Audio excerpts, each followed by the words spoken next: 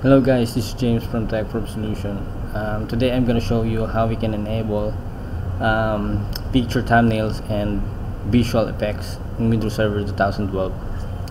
Um, Windows Server in Windows Server 2012 by default uh, it's not configured uh, for visual glamour so expect not to see um, visual effects so you need to enable that manually so to do that just click start then type performance. Then we want to click this one.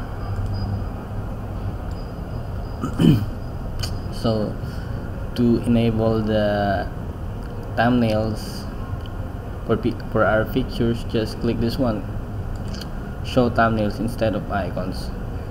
Uh, just check whatever you want to check here guys to add visual effects to your Windows Server 2012 so for now I'm gonna click this one then click apply and click OK.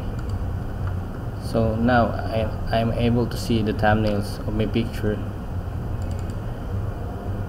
So if you cannot see the thumbnail of your picture just go to view then click large icons.